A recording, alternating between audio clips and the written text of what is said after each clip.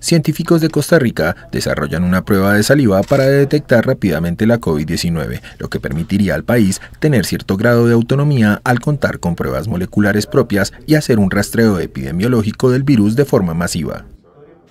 Una veintena de expertos de los estatales Universidad de Costa Rica, Instituto Tecnológico de Costa Rica y Universidad Nacional concluyeron el primer prototipo de las pruebas de saliva para el diagnóstico rápido del virus SARS-CoV-2 en pacientes sintomáticos y asintomáticos. El coordinador del proyecto y profesor de la Escuela de Biología de la Universidad de Costa Rica, Andrés Gatica, habla sobre las ventajas de la prueba. La prueba RT-LAMP en saliva es una prueba complementaria a la prueba Gold Standard o la PCR en tiempo real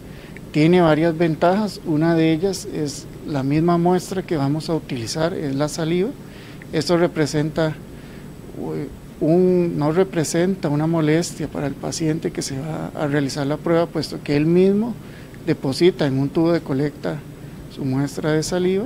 la prueba RT-LAMP, llamada en el país TICOVID-19, haciendo referencia a la palabra TICO, como le dicen popularmente a los costarricenses, es complementaria a la PCR-RT, reduce el riesgo de contagio de personal sanitario porque puede ser autorrecolectada y no requiere de un medio de transporte especial.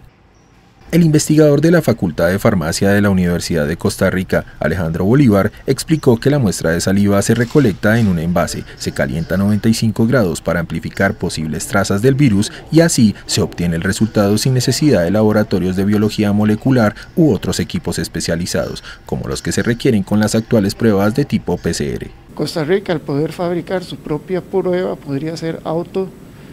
eh, tener sus autoconsumible y poder generar